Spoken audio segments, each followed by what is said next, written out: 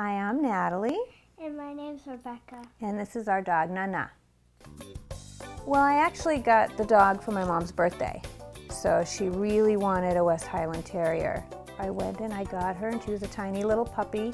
My mom was waiting outside the apartment on the sidewalk, waiting for her and she was very excited and she was a tiny little white puppy.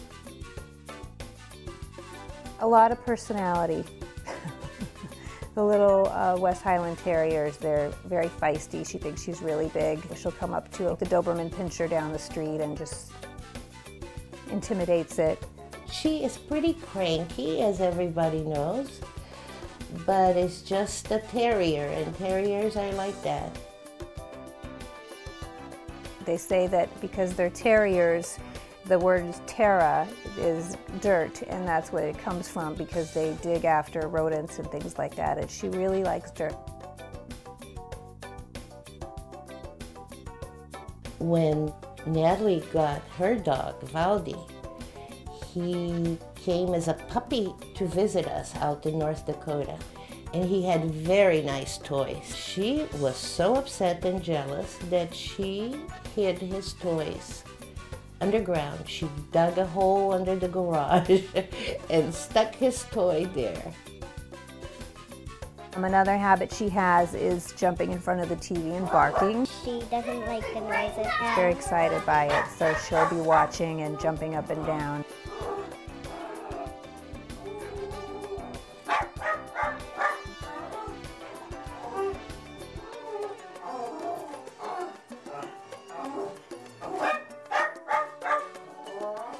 We drove, my mom and I drove across the country to North Dakota from Boston with her in the car. Um, so that was a long trip and we stopped at the Great Lakes and we stopped at a lake called Lake Bemidji. And she's not really a swimmer but we coaxed her into swimming. And when she got out of the water she must have swallowed a lot of water and she let out a very loud burp and there were people at a picnic table nearby and they, they just looked around. it was really kind of surprising.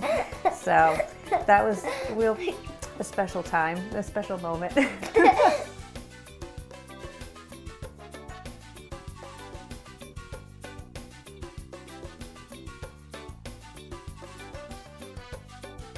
She follows me everywhere I go. It's like a little lamb all through the house. If I stop, she bumps into the back of my legs. She's just always there. She also can trip people lots of she times. trips you. She trips you. yeah, and yeah, um, it and she goes rushing to the kitchen when she hears noises yes. in there. And uh, if if you're cooking, she tries to. I think she tries to trip you actually, so you drop your food. She has been a wonderful companion for me when I lived alone for many years in the tundra. She was there with me, and uh, uh, I had a bay window in my little house. And every day when I came from work, as I turned into the driveway, she would be lying on the on the bay window, and she would bark, bark, bark, and run into the back door to wait for me. Nana's, you know, a great old dog, and we've had her for 13 years, and She's part of our family. We love her very much. Um, sometimes she can be a little obnoxious with the barking and um, following us around everywhere, but I can't imagine life without her. She's really part of the family.